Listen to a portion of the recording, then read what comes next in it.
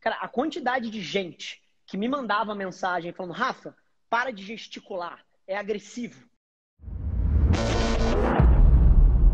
É, Rafa, para de falar palavrão, é muito feio. E, e é curioso, assim, várias. E, e, e, assim, eu não tô tirando o mérito. É, eu acho que cada um tem que decidir por si quem é você e o que faz sentido para si. Mas eu queria abrir o olho das pessoas que no final do dia, cara, o que é politicamente correto muda. Isso é um negócio muito interessante. Num ano, o que é politicamente correto é uma coisa, no próximo, o que é politicamente correto muda de novo. Daqui a cinco anos, o que é politicamente correto vai ser totalmente diferente do caralho que é hoje.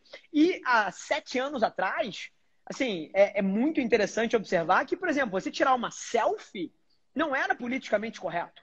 Se alguém olhasse um ser humano tirando uma selfie na rua em 2013, no meio do shopping, você olhava para esse cara e falava assim: putz, que pessoa narcisista, que egotrip, que cara ególatra, que, que pessoa. Cara, assim, que eu não quero nem estar tá perto disso aí. Tirou uma foto no banheiro cinco anos depois. Cara, eu desafio as 500 pessoas que estão na live aqui com a gente. Quem é que nunca fez uma porra dessa?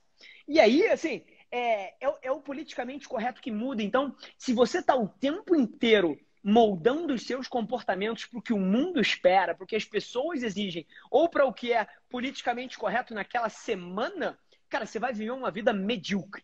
E, e, as decisões do Ivan e as decisões que eu tomo na minha vida, e aí eu acho que é interessante trazer para vocês, cara, estão muito moldadas pelo que a gente quer fazer com a nossa vida, pelo que a gente acredita que seja certo. E no final do dia, lá na frente, se daqui a cinco anos o, o mundo veio para onde eu tô e o politicamente correto se tornou o que eu faço, maravilha. Se demorar 15, maravilha. Se nunca chegar, eu fui verdadeiro comigo. E, e todo mundo que começa a produzir conteúdo passa por uma jornada dessa. E, e eu acho que é uma aspas muito interessante da gente fazer aqui, porque eu sei o quanto isso ajuda alguém que está começando